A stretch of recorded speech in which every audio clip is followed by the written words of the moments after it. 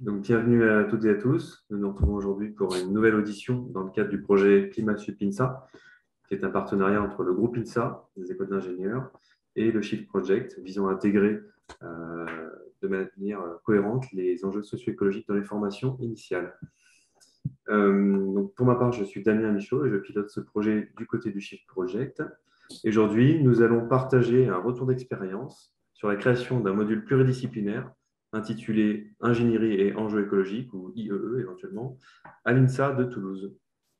Et pour ce faire, je reçois aujourd'hui donc Julien Carret, qui est enseignant-chercheur au département génie physique de l'INSA Toulouse, Béatrice Jalang-Vigourou, qui est enseignante-chercheuse en éthique à l'INSA Toulouse, et Damien Arbaud, qui est donc chercheur indépendant en transition écologique et sociétale au macroscope et qui est vacataire. Et tous trois sont co-créateurs, co-créatrices du module ingénierie et enjeux écologiques. Donc, bienvenue à vous trois.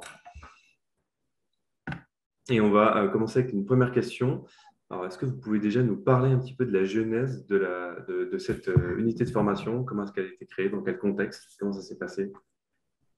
Béatrice Oui, avec plaisir. Je rajoute qu'il y a aussi Sébastien Lachaise hein, qui va venir euh, témoigner de, de ce cours que nous nous appelons I2E. Voilà, c'est l'appellation euh, ingénierie en jeu écologique. Alors, ça a commencé comment? C'est une, très belle histoire en fait, hein, qui a démarré en, 2016, au moment où Julien Carré est devenu responsable développement durable et a euh, été sollicité, enfin je vais, je vais revenir là-dessus, pour euh, créer un cours sur les enjeux environnementaux, sociaux, climatiques, on va les appeler comme ça. Et hum, en fait, on s'y retrouvait quatre ou cinq finalement, je peux citer les noms peut-être, Ligia Barna, Claire Homs, Manuel Paredes, donc Julien Carré bien sûr, et puis euh, moi-même. Et assez vite, euh, en créant ce cours, on s'est demandé euh, qui solliciter parce qu'on souhaitait qu'il y ait plusieurs disciplines qui soient abordées. ça va être une des difficultés hein, quand on est sur ces enjeux-là. Mais avant de rentrer peut-être dans ces points-là, deux autres choses à préciser. Euh, pourquoi un responsable développement durable à l'INSA Toulouse Pourquoi euh, ce cours, etc. Aussi parce qu'il y avait toute une effervescence qui commençait à se sentir. C'était vraiment les prémices 2016 d'étudiants qui souhaitaient aller sur ces enjeux-là. On avait euh, notamment l'association Green INSA hein, sur le, le, campus de l'INSA Toulouse, mais on voyait bien que dans d'autres écoles, d'autres disciplines, d'autres matières, c'est une préoccupation qui montait. Euh, et on peut se demander aujourd'hui justement à quel point elle a, euh, elle est indispensable à prendre en compte, etc. Et donc, c'était les premiers de ces mouvements des ingénieurs engagés, du manifeste pour un réveil écologique hein, qui, était déjà là, et qui, dans ces prémices, euh, consistait à déjà discuter de ces sujets entre étudiants et enseignants, et parfois aussi au sein des stages en entreprise. Donc ça, c'est la première chose que je voulais préciser. Et puis, deuxième chose aussi, hein, et, fort utile, je pense, pour mes collègues qui nous écoutent, c'est que il y avait la place pour faire ce cours. Hein, il y avait un module d'ouverture qui prenait un certain nombre d'heures avec des, jours déjà dévolus. Et euh, il n'y avait pas à, à, trop discuter ou négocier pour voir ce que remplacer ce cours-là. Donc ça, c'est un point important. C'est un, préalable. Et donc ensuite, vers quoi on a voulu aller euh, initialement, je, l'ai sous les yeux, hein, notre premier programme, c'était qu'on voulait avoir des éléments sur les ressources de la planète avec des infos sur la, dimension géologique, géothermique, etc. On voulait avoir une dimension histoire des techniques. On voulait aussi avoir une dimension sur la, façon dont le mode moderne est marqué par les flux d'énergie, les flux de ressources, la question des impacts environnementaux, etc. Et puis, on voulait aussi avoir une dimension pour penser euh, l'avenir, hein, les liens sciences et société, les, nouvelles, les nouveaux modèles économiques à construire, etc. Et donc, ce qu'on voulait euh, mettre en avant, c'est le contenu du coup très, diversifié de l'UF. Et du coup, l'appel assez, vite à des enseignants avec des compétences très variées. donc actuellement, euh, peut-être Julien euh, me corrigera, mais je crois qu'on est 8-10 hein, de, différents départements de, de l'INSA Toulouse. Et c'est ce qui fait que c'est très, très intéressant de, se retrouver. Là, on, construit cette interdisciplinarité avec certaines difficultés parfois aussi, hein, mais on, ne peut pas, en tout cas, tourner le dos à cette dimension-là sur, euh, sur ces enjeux-là. Et donc, on, construit une équipe avec euh, euh, ces différentes compétences qui vont s'exprimer dans les différentes parties de, l'UF. Alors, je ne vais peut-être pas rentrer dans le détail hein, sur le TD, tout ça, on prévoit d'en parler après. Mais donc là aussi, on répartit les personnes euh, non seulement sur les thématiques, mais aussi sur les méthodes qu'on met en œuvre dans I2E pour euh, toucher nos étudiants. voilà, j'ai peut-être oublié certains points. Je sais pas si. peut-être pour préciser, tant qu'on est sur cette question-là, donc vous avez parlé du fait qu'il y avait déjà de l'espace pour ce module-là. Est-ce que vous pourriez un petit peu préciser et également nous indiquer à quel point la, direction a été engagée dans cette, dans cette programmation? Bah, la direction, c'est-à-dire la direction d'INSA? Oui. Oui, oui. Il y avait un module d'ouverture de 35 heures hein, qui a été euh, dévolu à, à I2E directement. Voilà, sur l'année 3 à, l'INSA Toulouse. Donc, c'est le, moment où euh, les étudiants sont en préorientation et commencent à, visualiser clairement leur spécialité aussi. Donc, ce n'est pas à n'importe quel moment qu'on l'a fait. Et donc là, on a, on a, cet espace entier qui a été euh, dédié à, à I2E d'entrée de jeu. Très bien, d'accord. Et, concernant le, bah, le, déroulement, le contenu du module, est-ce que vous pourriez un petit peu nous décrire, peut-être Julien par exemple, quel est euh, le travail que vous demandez aux étudiants? Comment ça se déroule tout ça? Alors, en fait, tout le, tout le, travail, euh, tout le travail demandé aux étudiants se fait, euh, se fait sous forme de, de travail en, équipe.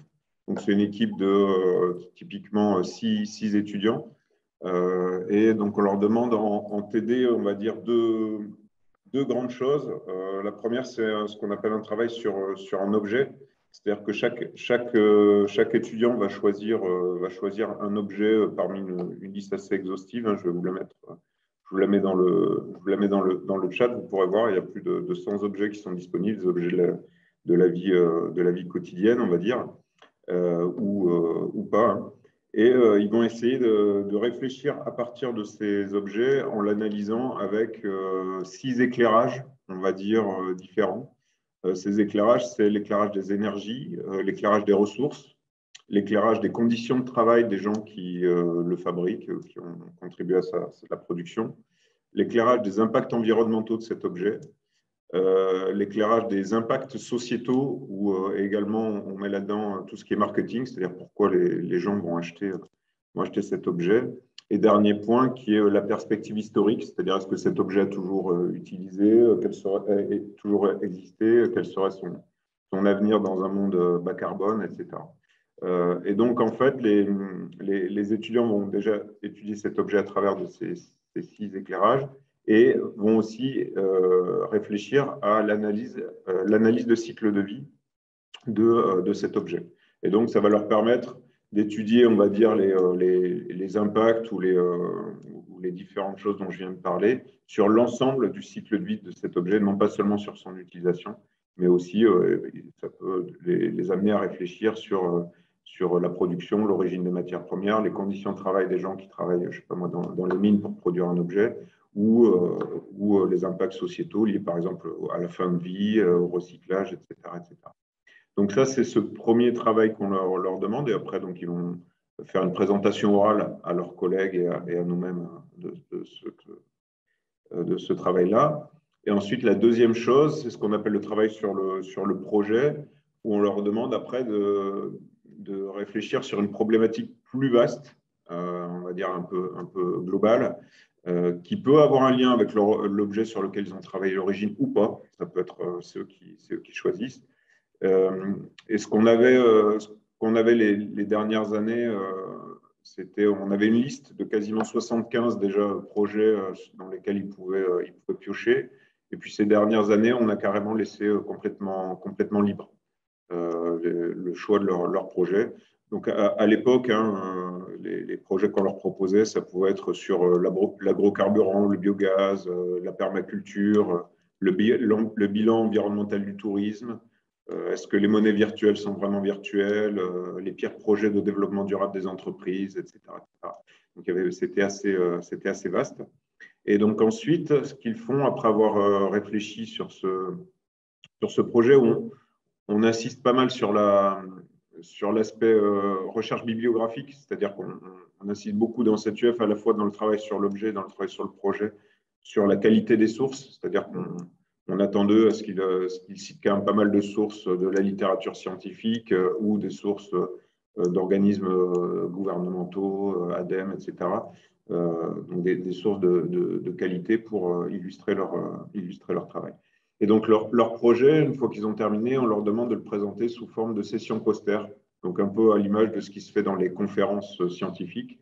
Donc, ça va être, euh, ça va être euh, une grande salle et chacun va présenter, présenter son, son, projet à la fois aux enseignants qui font le tour des, posters pour l'évaluation, surtout pour discuter avec eux en fait, et également à leurs, à leurs collègues.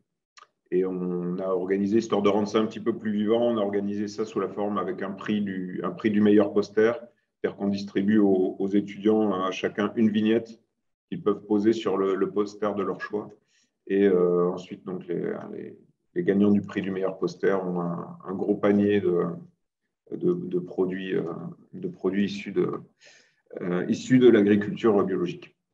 Euh, donc voilà, en gros, les, deux grosses choses qu'on demande, qu'on demande aux, étudiants lors de leur travail euh, en groupe. Encore une petite question complémentaire pour bien comprendre le, déroulé.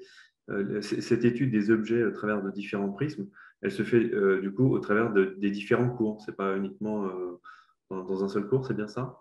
Alors, non, il n'y a pas de ce, travail, ce travail-là, et Damien, Damien va en parler un petit peu. Il y a, il y a quelques cours très préliminaires euh, dont Damien parlera hein, sur l'analyse de cycle de, vie de l'objet. Qu'est-ce qu'une ACV, donc une analyse de cycle de vie Mais en fait, il n'y a pas vraiment de cours qui leur permet de euh, qui, direct, qui soit vraiment directement en lien avec ce, avec ce travail-là. C'est-à-dire qu'on c'est plus de l'apprentissage par problème ou par projet, on va dire. On les met directement dans le bain de la réflexion sur, euh, sur cet objet sans forcément qu'il y, ait un cours, qui un cours euh, euh, associé, associé à ça. Très bien. Et du coup, bah, je rebondis justement en m'adressant à Damien Arbaud. il y avait la question de, justement de, la, pédagogie, des approches pédagogiques. Est-ce que vous faites des cours magistraux dans le cadre de ce module? Oui. alors, moi, personnellement, je fais justement les, trois seuls cours qui sont vraiment transversaux. Euh, enfin vraiment transversaux, qui sont vraiment adressés en, amphi complet. Euh, les cours magistraux suivants, les étudiants choisissent en fait euh, parmi, les, différentes possibilités à quel cours ils vont assister.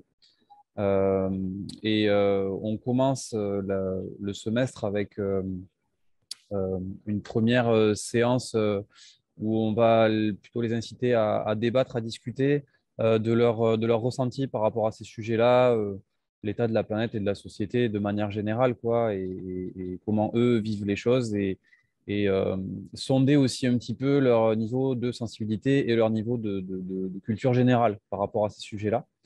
Euh, leur permettre de s'exprimer, c'est, semble-t-il, hyper important pour pouvoir vraiment démarrer euh, le semestre avec une implication aussi de leur part. ensuite, bon, sur les enjeux climat-énergie, on a, au, début, de au début des, des, premières années, euh, on n'avait pas forcément de cours dédiés à ça et on s'est quand même vite rendu compte qu'il y avait besoin de, d'apporter un, niveau de base de connaissances euh, à l'ensemble des étudiants parce que très peu d'entre eux finalement étaient euh, informés de manière approfondie et, et sur des, des sources d'informations assez, assez fiables. et et il y avait souvent beaucoup de, faux sens ou de non-sens qui étaient exprimés par les étudiants euh, sur, euh, sur les sujets euh, climat, énergie. Et, donc, ça nous a permis aussi de, voilà, de mettre un petit peu à plat en fait, cet aspect-là pour démarrer vraiment sur des bonnes bases et faire en sorte qu'ils puissent, qu'ils puissent ensuite approfondir certains sujets. Mais voilà, on est vraiment parti du, principe que euh, voilà, avoir un, enfin, avoir un cours euh, sur les enjeux climat-énergie était, euh, était, vraiment important. Donc, c'est un cours que j'ai été, je le suis toujours, membre de l'association Avenir Climatique. et donc, on s'est aussi appuyé sur, sur le, le, contenu des conférences qu'on organise au sein de, cette association pour, vraiment lancer un petit peu le, contenu de ce cours. Euh, que l'on fait en deux cours magistraux, donc ça fait deux heures et demie en, tout, c'est très très très court. Pour ceux et celles qui veulent approfondir, il y a aussi un module d'ouverture, je crois, qui est dédié euh, à l'INSA justement les enjeux climat-énergie. Euh, et puis il y a des choses qui se mettent en place aussi d'année en année en parallèle. Ensuite, un, troisième cours magistral avant de lancer les TD et les cours thématiques est orienté justement sur, sur la CV. Alors, je ne leur donne pas un cours sur comment utiliser les logiciels ou les bases de données, mais plutôt une approche générale sur la pensée cycle de vie, sur la manière de, travailler, de réfléchir sur, en, utilisant en fait cette méthodologie de, travail et de réflexion. et notamment à travers bah, quelques exemples et puis, et puis présenter aussi un petit peu ce qu'ils vont faire pendant les TD. il y a cette idée, je trouve, importante dans la pensée cycle de vie de, de pensée complexe et de pensée plurielle.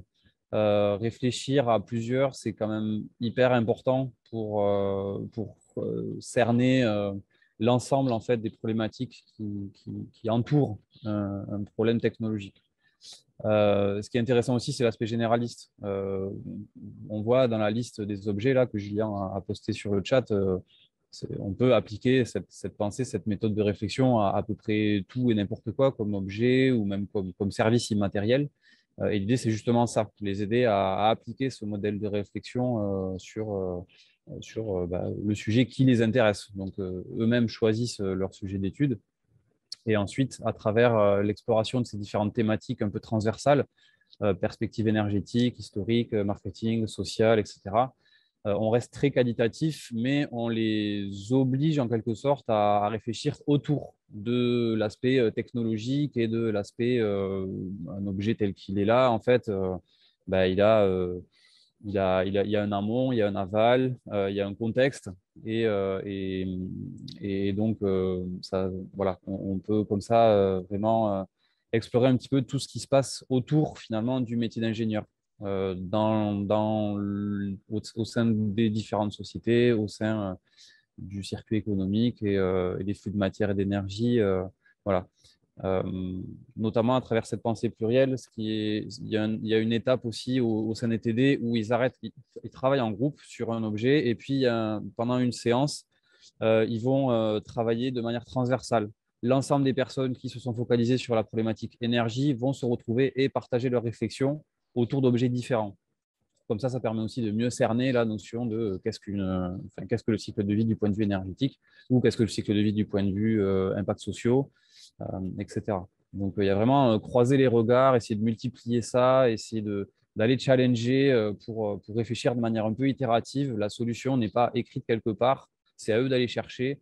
Et enfin, voilà, c'est aussi ce qui, me semble-t-il en tout cas euh, est un élément intéressant pour, pour, se préparer à ce qui se passe euh, bah, dans la vie active, hein, parce que euh, les questions qu'on pose aux ingénieurs, la solution n'est pas au dos de la feuille ou en bas de la feuille, quoi. Elle est à aller chercher, à aller explorer, à aller challenger et à aller revisiter. Donc voilà, il y a vraiment un petit peu toute cette idée-là d'intégration, de rentrer un petit peu dans le, dans le monde, on va dire, concret à travers ces, ces projets et ces, ces débuts de cours. Et, donc, euh, en complément de ces cours magistraux, euh, Béatrice, je crois que vous voulez compléter sur euh, peut-être d'autres types de cours que vous enseignez. Oui, donc il y a les cours, on va dire, généraux qu'évoquait Damien, que tous les étudiants suivent. Et puis ensuite, mais on a, ça n'a pas toujours été comme ça, hein, on a appris en faisant, on a décidé qu'il y aurait certains cours magistraux qui seraient en option les étudiants. C'est-à-dire qu'ils doivent tous choisir deux options, mais donc ils ne suivent pas tous ces cours. Alors, qu'est-ce qu'on a actuellement euh, comme euh, cours euh, thématiques qu'ils vont choisir? Donc, on en a trois qui sont peut-être un peu plus côté sciences humaines avec une thématique modèle socio-économique qui présente les modèles socio-économiques alternatifs qui existent actuellement et qui peuvent être source d'inspiration. Il y a la thématique éclairage historique qui montre comment une technique euh, est apparu à un moment et donc a fait l'objet de certains choix dans un contexte particulier, s'est développé, s'est déformé, puis a été abandonné peut-être, etc. Et donc là, bien en lien avec une évolution historique de la façon dont l'ingénierie procède aussi. Euh, et parfois, ce n'est pas forcément su, hein, c'est de façon inconsciente, donc ça permet de bien prendre conscience de certaines choses. Et puis le troisième volet thématique, euh, sciences humaines aussi, c'est euh, la thématique éthique. Hein. quelle est la responsabilité des ingénieurs, justement, dans tout ça? Jusqu'où s'étend-elle? Euh, Avec qui doit-elle se, mettre en place, etc. Et quel est le regard que les ingénieurs peuvent porter sur la nature, justement, pour exprimer cette responsabilité? Et puis, il y en a encore trois autres qui sont peut-être plus, plus techniques. Donc, un qui s'intitule Transport et chimie avec et sans pétrole. Donc là, le titre parle de, lui-même. Un autre cours qui porte sur la thématique eau et nutriments, et puis un dernier sur la partie énergie et ressources. Alors, ce que, je peux dire de, toutes ces thématiques, c'est que le, déficit pour nous, hein, c'est que tous ne les suivent pas. Et donc, pour pallier à ça, on a mis en place un système où ce sont les étudiants qui vont faire part des thématiques qu'ils ont reçues euh, aux autres étudiants. Donc, on, organise ça et donc on est dans un système où certains étudiants auront appris euh, des choses et puis vont eux-mêmes les restituer euh, aux autres en en faisant la synthèse et puis en, essayant d'être dans la posture de qu'est-ce qui est le plus important que je restitue à mes camarades. Donc, on les responsabilise, je dirais, le plus possible sur ces, thématiques-là. Voilà, je ne sais pas si vous voulez en savoir plus, si ça vous va. On verra peut-être dans la partie questions éventuellement. Entendu. Il y, a, une question délicate qui est souvent remontée euh, quand on échange avec euh, les enseignants sur ce projet-là, mais globalement euh, sur l'intégration de ces nouveaux enjeux socio-écologiques dans les écoles d'ingénieurs, mais pas que, c'est que finalement, comment est-ce qu'on fait pour évaluer les étudiants? C'est une question qui est assez délicate. Comment est-ce que vous avez approché cette, cette, question de votre côté? Ça a été très compliqué compléter, mais bah, ça, a été très. Enfin, il y a eu beaucoup de tests. Euh, ça a démarré par euh, un test en ligne via des QCM, etc., où euh, c'était plutôt le niveau de connaissance finalement qui, était, qui était évalué. ça demandait beaucoup, beaucoup de travail aux étudiants parce que c'est l'époque où ils avaient aussi, ils suivaient tous les cours magistraux. Euh, et, ça leur demandait énormément de travail euh, parce que bah, le fait d'avoir huit enseignants différents aussi euh, qui s'enseignaient sur, sur la même UF, chaque enseignant avait aussi envie, à cœur de, transmettre un maximum de choses et à la fin, ça faisait un volume d'informations qui, qui, pour, ouais, qui, demandait beaucoup de travail aux étudiants. On avait souvent ce retour de c'est hyper intéressant, ça nous apporte beaucoup de choses, mais ça demande beaucoup, beaucoup de travail. donc, comment comment arriver à, faire évoluer ça?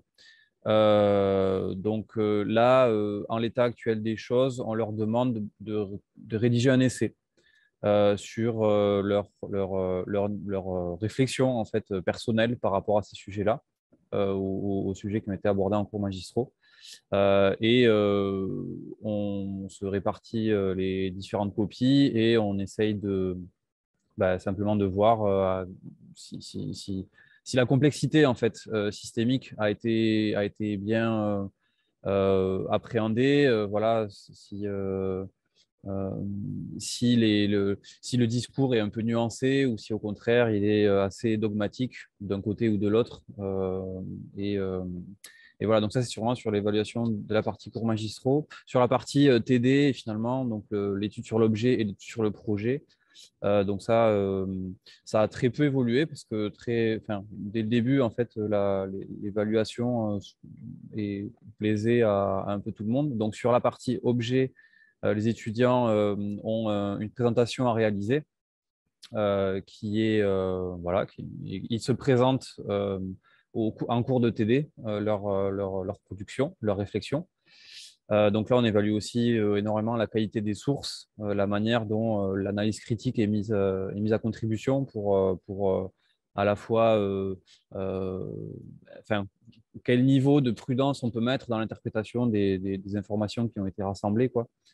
et, est-ce que vraiment les sources qui ont été utilisées sont de bonne facture ou est-ce que c'est des journaux grand public ou Wikipédia quoi. Cas, ben, c'est-à-dire que c'est insuffisant, même s'il y, a, beaucoup d'allers-retours. Et sur les posters, euh, euh, comme le Julien euh, le, disait, c'est voilà, il y, a, y, a, une session en fin de semestre où les, étudiants présentent à leur père le poster. Et puis, il y a bah, les, enseignants disponibles viennent aussi faire le tour des posters. On se répartit les, les, différents posters à regarder. Il y a une présentation flash de 5 minutes réalisés par les étudiants pour euh, présenter leur travail. Euh, il y a un petit rapport aussi annexe au, poster. Et, et, voilà, donc ensuite, on, se réunit en fin d'après-midi et on échange sur les différentes présentations qu'on a vues et, on évalue la qualité du travail. voilà. Je ne sais pas si Julien ou Béatrice veulent compléter sur les critères qu'on utilise ou. Ouais. je, complète, je compléterai pour pour repréciser euh, par rapport à ce que Damien disait sur le euh, sur l'essai l'essai qu'on demande, qu'on demande, aux étudiants sur les cours magistraux. Donc ça, c'est quelque chose qu'on a fait pendant à peu près deux ans, deux ans d'affilée et qui, je pense, de mon point de vue, était vraiment le, la meilleure évaluation qu'on ait, qu'on ait eue. C'est-à-dire vraiment, on avait les étudiants qui, c'était un essai sous forme d'analyse de, documents, c'est-à-dire qu'ils bah, avaient, mettons, deux heures euh, on leur mettait un, document, par exemple, typiquement, moi je, donne des exemples, un article de journal sur la voiture électrique euh, ou euh, des, choses comme ça. Et à partir de tout ce qu'ils avaient compris des cours magistraux, ils faisaient un essai autour de tout ça. Et donc, c'était vraiment extrêmement riche parce que on, voilà, on pouvait suivre leur, leur, réflexion. On voyait aussi très bien leur niveau de connaissance et leur niveau de travail dans ces essais-là. Euh, franchement, moi, je pense qu'on aurait pu garder ce mode d'évaluation, mais c'était hyper chronophage parce qu'on a 400 euh, étudiants, on était 8 enseignants de cours magistraux euh, et c'était vraiment un très long temps de correction. Et donc, finalement, on a un peu abandonné ça pour le remplacer par, bah, pour l'instant, pas, grand-chose. Et il faut préciser qu'actuellement, le, contrat avec les étudiants du point de vue de l'évaluation, euh, c'est en fait que tout le monde a A+. Normalement, il y, a des, notations hein, sur les, euh, dans les niveaux d'enseignement, D, C, A, A+, etc. Donc là, on leur dit, vous avez tous A+, c'est-à-dire qu'on ne va pas, chercher à aller euh, chercher la petite bête, etc. sauf si à un moment donné, vous remplissez pas vraiment le contrat, et sur, parmi les choses qu'on vous demande, vous ne jouez pas le jeu. Dans ce cas, vous allez au rattrapage.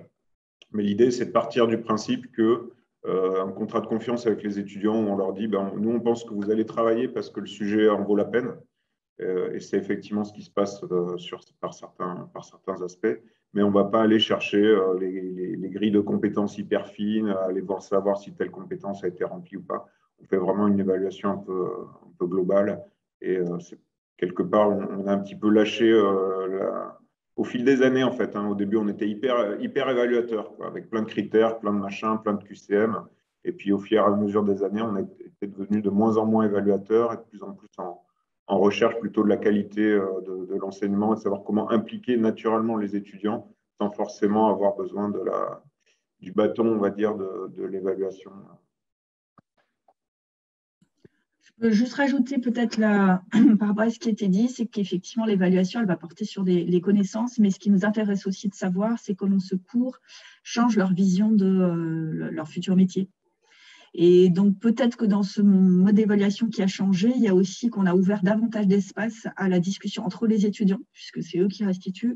Et donc, je pense, je pense que ça, c'est un point clé. Alors, peut-être qu'on n'évalue pas aussi finement qu'avant, mais c'est aussi euh, une question qu'on s'est posée et une des réponses qu'on a trouvées. Donc, il y a plusieurs moments où ce sont les étudiants qui vont dialoguer entre eux euh, à partir de ces connaissances qu'ils ont euh, acquises les uns et les autres.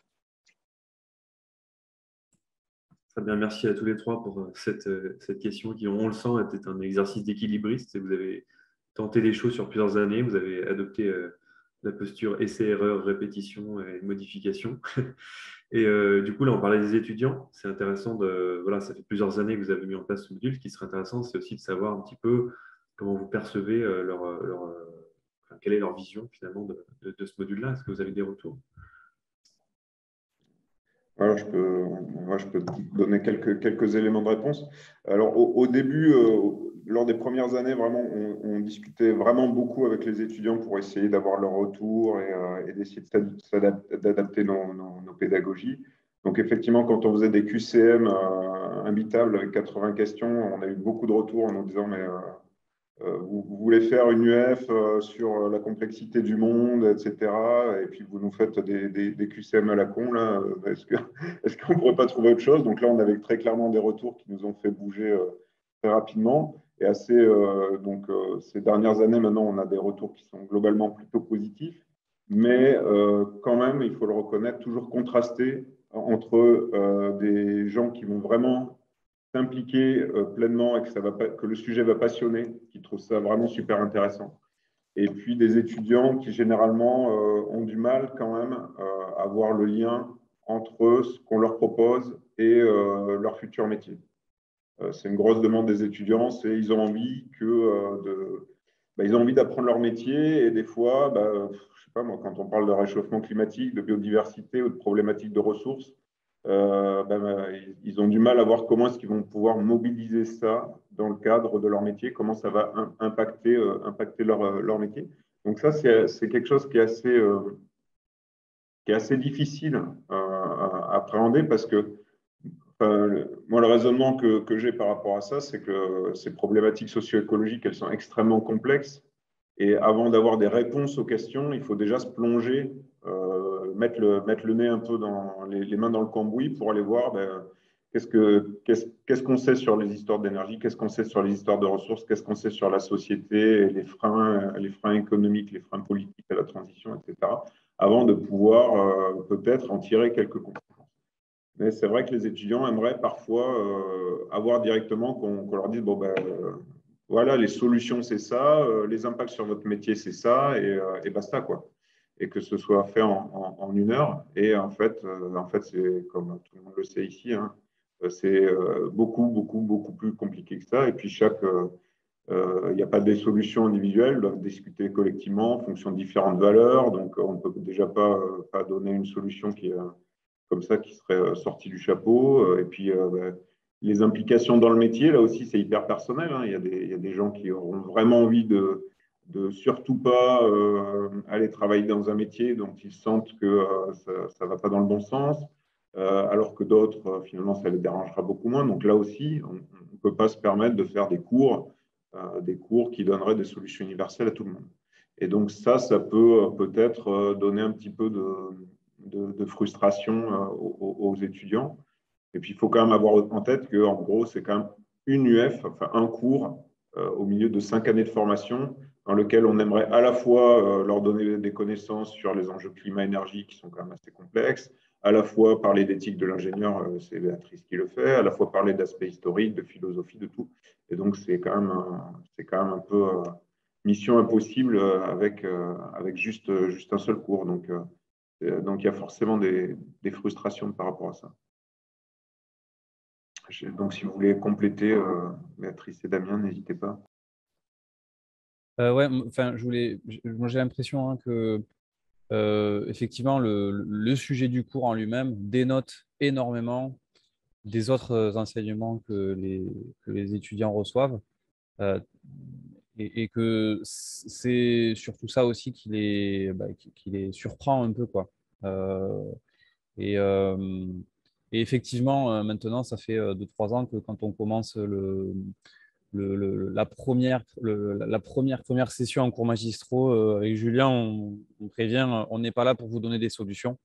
On est là au contraire pour, pour explorer la situation, faire un état des lieux. Quoi c'est hyper difficile de pas être euh, euh, enfin de ne pas être euh, enfin de, de, laisser la place aux différents récits possibles et ceux qui sont pro techno bon bah il y a il y a des, il y a des, c'est un point de vue qui, qui se défend et qui se discute, mais ceux qui sont des croissances ou ceux qui sont, enfin voilà, il y, a, il y, a, un peu tout, il y a une grande diversité vis-à-vis -vis de ces réflexions de quelles sont les solutions à ces sujets qui reflète, euh, je trouve, assez bien finalement ce qu'on observe hein, dans la société. Euh, et, donc, c'est important de garder cette diversité pour inciter au débat et, euh, qu'ils puissent voir aussi que tout le monde n'est pas forcément d'accord avec ce qui leur semble évident. mais voilà, on parle de sujets quand même sociétaux et, donc c'est un peu déroutant pour eux. On leur parle de, sujets où il n'y a pas de solution, et là aussi, c'est un peu déroutant pour eux parce qu'ils ont l'habitude de recevoir justement dans les différents cours techniques euh, les solutions. Et ça, je le vois hein, dans les différents établissements dans lesquels j'interviens. C'est un petit peu la même chose. Quoi. Les, bah, faire prendre conscience que des fois, il n'y a pas de réponse à, certaines questions, il n'y a pas de réponse simple. Mais en tout cas, il y a des choses à construire, à creuser, à explorer et garder un esprit critique, une certaine distance par rapport aux informations qu'on trouve. Ça fait déjà beaucoup. Euh, et en tout cas, s'ils ressortent de là avec euh, cette prise de conscience que ben, tout n'est pas tout blanc ou tout noir, euh, ça, fait déjà quelque chose de vraiment important. Et après, au niveau de leur implication et de leur réception, moi, ce que j'observe à chaud aussi en cours d'amphi, il y a une grosse différence entre le lundi après-midi et le vendredi après-midi. Et ça, clairement, c'est bon, ben, ça, c'est par contre une constante sur l'ensemble des années. c'est voilà, on sent que euh, des fois, ils ont envie, mais ils n'ont pas l'énergie. Et, euh, bon, ben ça, on fait aussi comme on peut, mais ça fait partie des critères qui, font que la réception est, plus ou moins enthousiaste ou, ou, passionné, ou, ou si ça passe un peu d'une oreille, oreille à l'autre. Euh, vendredi après, ça dépend aussi si c'est veille des vacances. Hein, être clair. Euh, moi, je rajouterais en tout cas qu'ils ne sont pas indifférents. Ça, c'est quand même un gros point. Et euh, c'est vrai qu'on sent qu'ils sont plus ou moins impliqués d'eux-mêmes à, l'avance, mais ne serait-ce que pour l'analyse de cycle de vie des objets, là où ils choisissent l'objet qu'ils veulent, et ça peut être une bouteille de bière notamment. En tout cas, l'objectif est atteint dans le sens où ils s'aperçoivent que c'est beaucoup plus complexe que ce qu'ils imaginaient. Et puis aussi, pour revenir sur ce que disait Damien, ils sont un peu déroutés par le fait que c'est eux qui vont définir ce périmètre, ce fameux périmètre de l'analyse de cycle de vie. Et on les met dans des postures, effectivement, qui sont un peu différentes. On les met face à des équipes enseignantes qui sont beaucoup plus diverses que d'habitude, puisqu'il y a justement la partie sciences humaines qui est là. Donc ça, ça c'est, je dirais, c'est le challenge aussi pour nous, hein, du coup, enseignants, de faire un cours un peu différent des, autres, ça c'est bien. Et puis, dernier point que je voulais rajouter, c'est aussi que peut-être parmi les, retours des étudiants, il y a des différences quand même suivant les départements aussi, hein, les spécialités qu'ils prennent. Et euh, peut-être que pour les informaticiens, ce n'est pas la même vision des choses que, bien sûr, ceux qui sont en génie euh, en GP3E, ou peut-être même en génie civil, hein, où ils ont des obligations euh, dans, les dans les réglementations thermiques qui font qu'ils ils sont obligés d'en connaître peut-être un peu plus. Voilà, donc là, là c'est intéressant pour nous justement d'avoir des groupes assez divers. Et quand on a les groupes du lundi, c'est certaines spécialités, le groupe du vendredi, c'est d'autres c'est aussi très utile de pouvoir discuter avec ces différentes spécialités. Pour nous, c'est très enrichissant. Et, je pense que ça, c'est des, éléments aussi à, creuser peut-être davantage. Et la question qu'on peut se poser, justement, c'est est-ce qu'on spécialise un peu I2E pour les spécialités ou pas?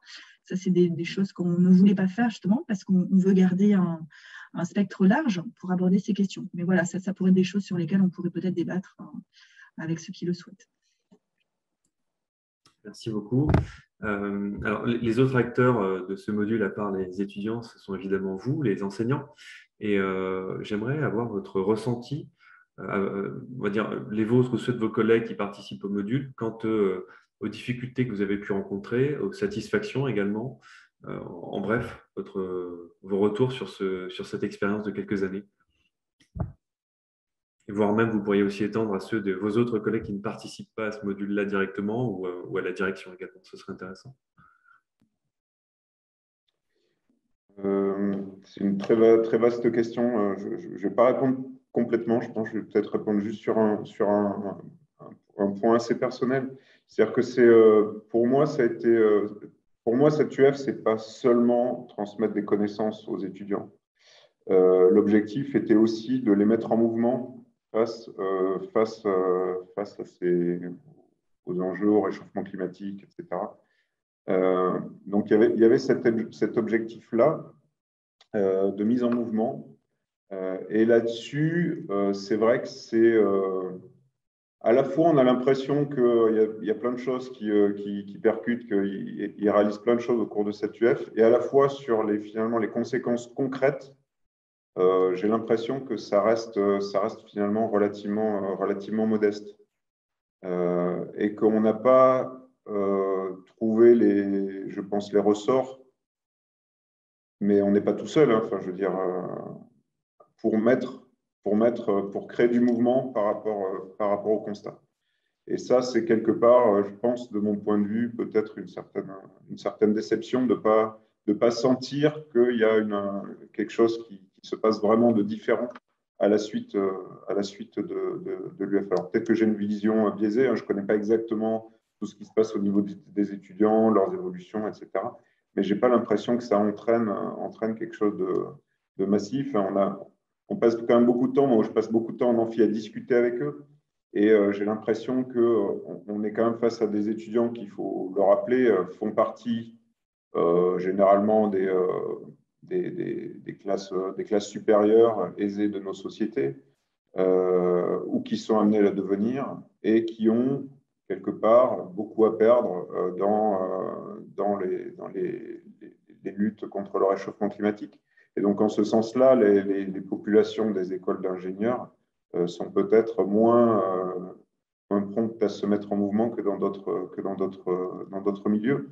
Et, donc, donc je dirais que c'est assez c'est assez compliqué. C'est-à-dire la partie je dirais transmission de connaissances, je pense qu'on est vraiment en phase de, d'arriver à faire quelque chose de, de, chouette. Et la partie voilà conséquences sur le métier, conséquences dans la vie, mise en mouvement. je ne suis pas sûr qu'on remplisse ce, cet objectif, cet objectif-là. Damien ou Béatrice, euh, vous voulez compléter?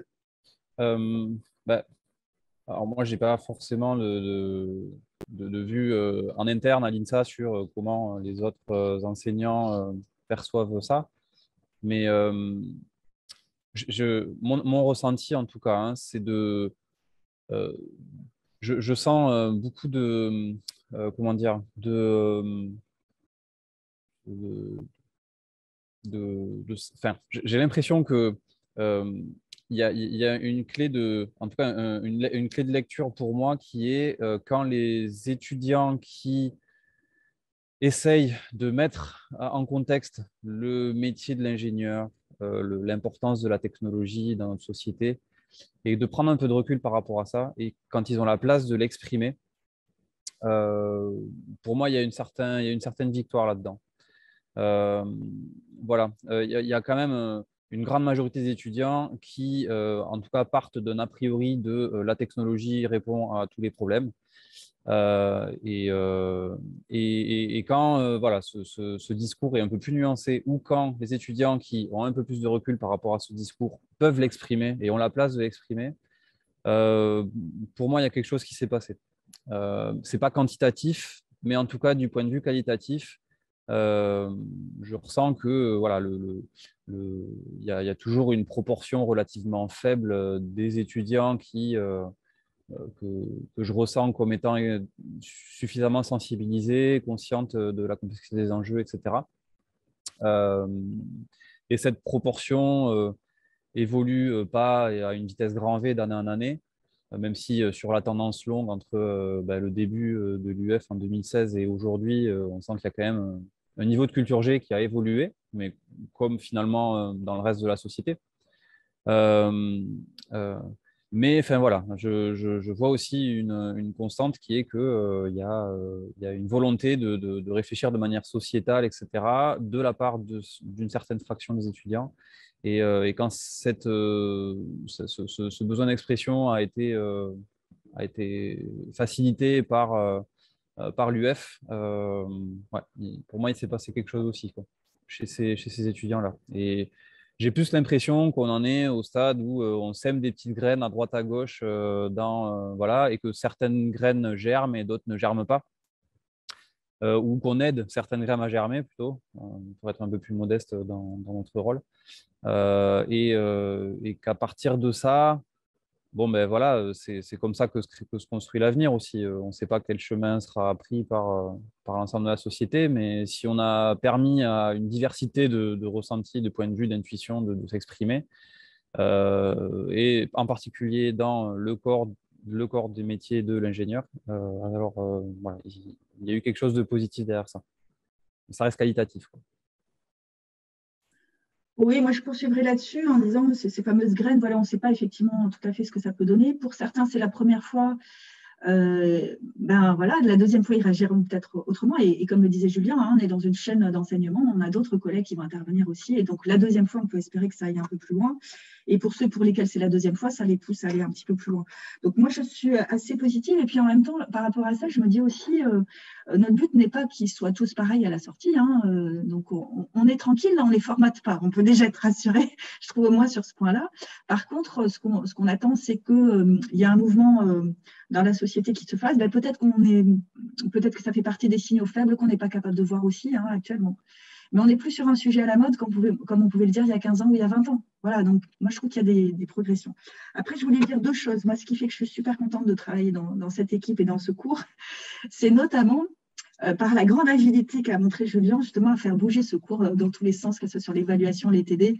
Euh, pour historiquement, on avait, je crois, 7 séances de TD, on est passé à 12, les cours thématiques, ça a changé, etc. Et donc, c'est très agréable, honnêtement. Parce qu'on sent qu'à chaque fois, on modifie pour, pour améliorer la qualité de, cet enseignement qu'on veut transmettre aux étudiants. Et, vous l'aurez compris, qu'il y a à la fois une dimension de, de connaissance, mais aussi de, posture, de temps de, réflexion. Euh, donc ça, c'était la, satisfaction personnelle que j'ai à, travailler dans ce cours. Et puis autre chose qui relève de la satisfaction personnelle, c'est quand même, je pense que vous il me semble qu'on entendait dans ce que disaient mes camarades, c'est un changement dans cette relation apprenant-étudiant Hein, qui fait qu'on discute, qu'on réfléchit avec eux et qu'on n'est pas là pour leur donner les solutions du, haut hein, vers le bas où ils n'ont plus qu'à l'ingérer. On est plutôt là pour euh, discuter du diagnostic des problèmes et regarder ensemble quelles sont les solutions qui sont déjà à notre portée, quelles sont les solutions qu'il faudrait peut-être imaginer et donc y réfléchir ensemble. Et donc je trouve que ça, c'est très satisfaisant euh, en tant qu'enseignant d'être dans cette posture-là avec les étudiants. Donc ça change profondément la relation qu'on a avec eux. Bien, merci beaucoup à tous les trois. Et enfin, dernière question avant de passer à, la partie d'échange avec euh, notre public. Euh, après ces quelques années de tests euh, et d'évolution de ce module, est-ce que vous pensez à nouveau le faire évoluer à court ou à moyen terme? Et si oui, eh bien, selon quelles grandes orientations? Je ne sais pas qui veut répondre. Je commence cette fois-ci à aller. Euh, alors, juste dans, les, dans les changements, c'est peut-être pas un des grands changements, c'est pour ça que mes collègues feront peut-être plus des grands changements. Moi, je pense qu'un des enjeux qu'on peut euh, mettre en avant, c'est l'articulation avec les cours ordinaires, on va dire, pour faire en sorte que les étudiants sentent euh, que ce cours I2E soit mieux connecté avec l'ensemble des, autres cours. Donc, ça veut dire peut-être continuer à faire connaître ce cours auprès de nos collègues, les intégrer dans l'équipe, faire qu'ils donnent un TD à un moment ou à un autre pour pouvoir y faire référence ensuite dans, leurs autres cours. Voilà, ça, fait partie des choses qui me semblent importantes pour, faire en sorte que voilà, le, principe, c'est qu'ils eux soient mieux connectés avec l'ensemble des autres enseignements euh, à l'INSA.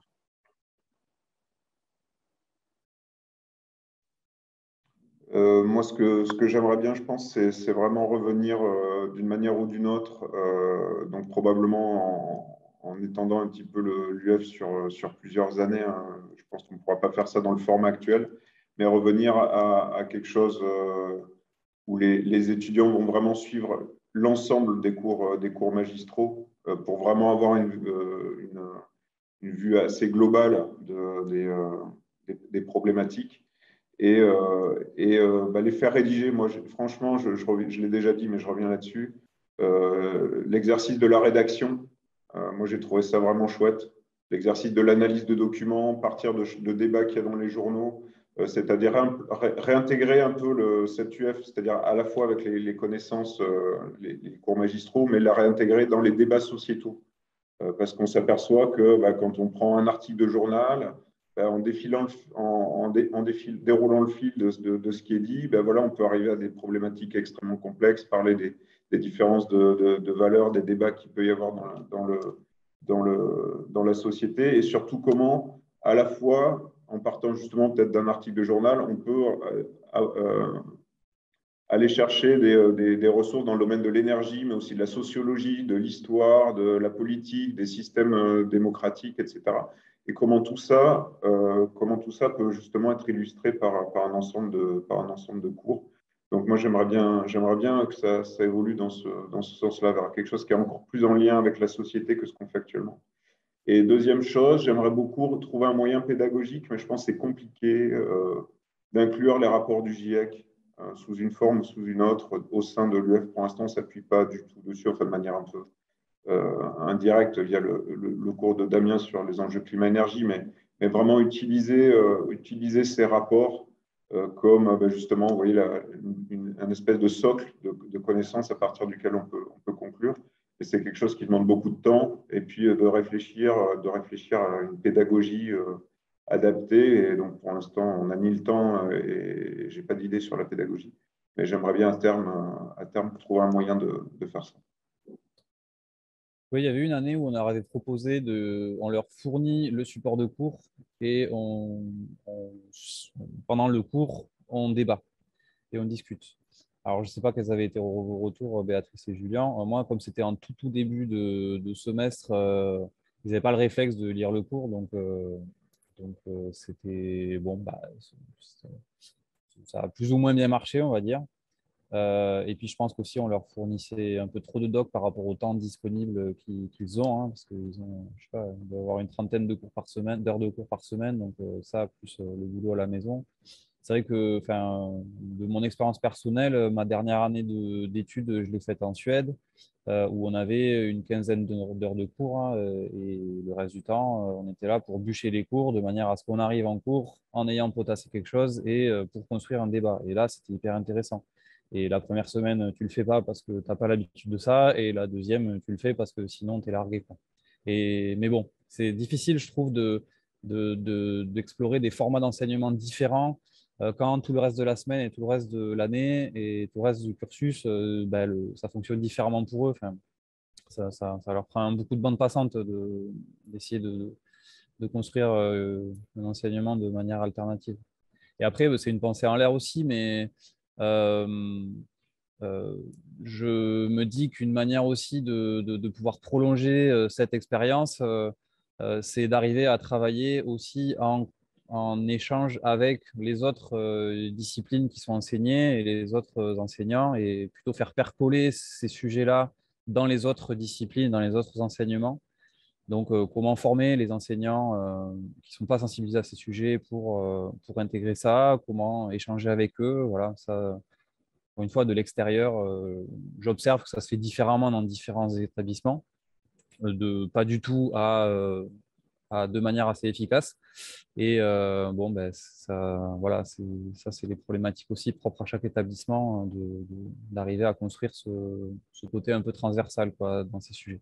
Mais c'est vrai que euh, tant que c'est pris à part des, autres cours, c'est enfin, je ne sais pas, hein, mais je me dis que c'est peut-être euh, plus difficile pour les étudiants de le prendre au sérieux, entre guillemets, quoi. Alors que si chacun des, dans chacun des enseignements on parlait de ces sujets, tout comme on pourrait parler d'enjeux euh, économiques par rapport à telle ou telle technologie, bah, forcément, ce serait aussi bah, considéré de manière. Ça, ça, percolerait plus facilement, ça serait plus facilement intégré dans les, dans les réflexes de, chacun et chacune euh, pour, pour, penser un petit peu de manière contextuelle ces, ces, sujets technologiques. Très bien, et ben merci beaucoup à tous les trois. Et euh, voilà, je voulais signifier que cet euh, enregistrement sera disponible sur la playlist euh, YouTube dédiée au, projet Kimasu Pinsa sur la chaîne du Chip Project. Et je vous dis à bientôt pour de nouvelles aventures. Merci beaucoup, Damien. Merci. Merci beaucoup. Merci à vous. Au revoir.